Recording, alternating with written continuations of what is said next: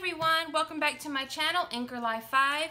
Coming at you tonight with a flip book that I made. Um, I kind of used a vintage Planner Girl um, style flip book, so I just wanted to share it with you. Um, I used these really cute little pinwheels that I found, uh, pinwheel stickers that I found at Tuesday morning. And also, this is the, um, the paper at Tuesday morning that I found.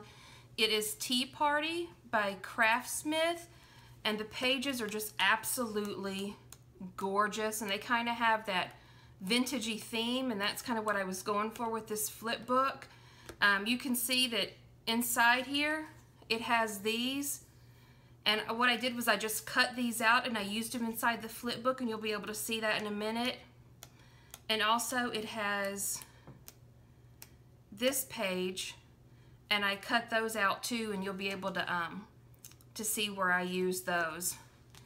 And this washi tape and then what I did for these die cuts that you will see in here I just simply re um, googled vintage planner girl die cuts and this is what came up and they were so cute and so this was the inspiration for this flip book.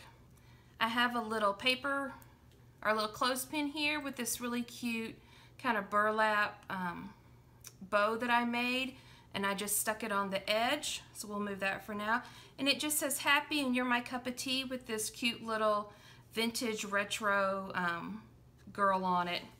And you open it up and these were all from the, um, the paper book.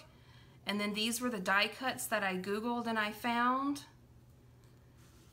and these are um, also from a paper book, just little journaling cards. And you flip them, and then just some more little cute embellishments, and there's that little windmill. Open it up again when it rains, choose to jump in the puddles. Another um, little things that I got just from this, from this paper book, really. A laugh is a smile that burst. Another little journaling card and some more little planner die cuts. Chin up buttercup, everything's gonna be okay. Um, and then another page with another journaling card and another little die cut. And then over here I have these cute little journaling cards and when you flip them all, they have the cute little planner die cuts on them also. And then on the back side